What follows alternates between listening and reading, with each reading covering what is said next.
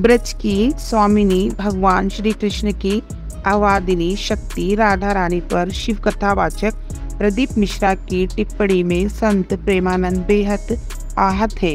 उन्होंने कहा कि लाडी जी के बारे में कुछ भी बोलना ठीक नहीं है। प्रदीप मिश्रा मेरे सामने बैठ जाए तो बिना बोले राधा की महिमा जान जाएँगे। संत प्रेमानंद महाराज का वीडियो इंटरनेट मीडिया पर तेज़ी से प्रसारित हो रहा है। आपको बता दें मध्य प्रदेश के सीहोर निवासी शिव कथावाचक प्रदीप मिश्रा का एक वीडियो इंटरनेट मीडिया पर प्रसारित है।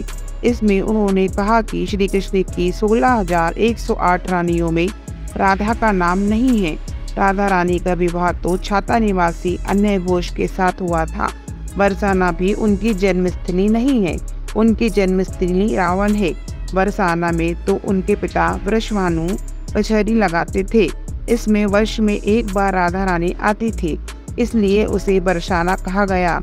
उनके इस बयान से ब्रज में आक्रोश है। प्रख्यात संत प्रेमानंद महाराज ने प्रदीप मिश्रा की टिप्पणी के जवाब में कहा कि लाडली जी के बारे में जो चाहे बोल दे, ये ठीक नहीं। उनके सेवक काल के भी महाकाल हैं। उन्होंने प्रदीप मिश्रा को चुनौती देते हुए कहा कि मेरे सामने बैठे तो बिना बोले राधा की महिमा के बारे में जान जाएँगे। उनकी मती मारी गई है। फेसबुक पर कृष्णकांत सोनी को फॉलो और यूट्यूब पर केसरी न्यूज़ को सब्सक्राइब करना न भूलें जय हिंद।